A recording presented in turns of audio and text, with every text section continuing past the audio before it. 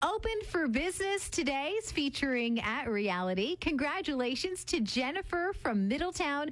You win a pair of 30 minute sessions of incredible entertainment.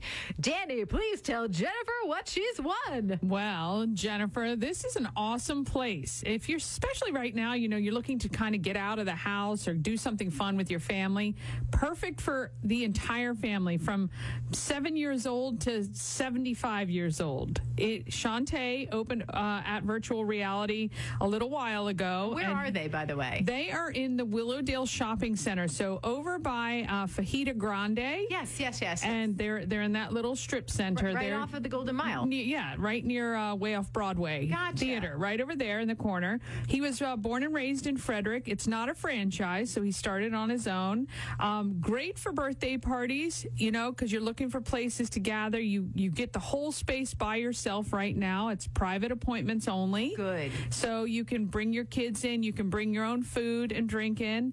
Now, the I've never done virtual reality, and it is so amazing. So So it's real, right? It- I mean, it feels like you're actually there, what you're seeing.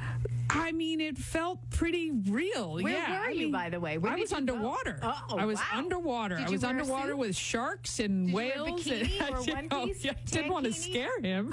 I didn't want to scare him or the fish. but no, so I did this. He just uh, got kind of, you can ease into virtual reality with this kind of concept of being underwater with the fish and stuff. Very, very cool.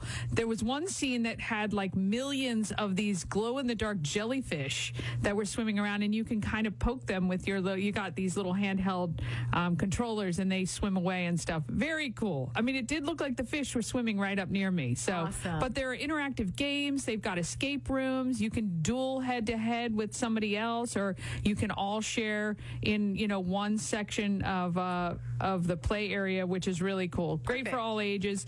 Um, I didn't get any motion sickness, and because there's not a lag in the video, he said that that really helps. But it, if you kind of feel uncomfortable, they're there to help you and walk you through the entire thing. So I really recommend go check it out. It'd be a great. I'm I'm going to take Ash and the kids one day next week and just have a really fun gaming night. At virtual reality is open for business. Brian's up next.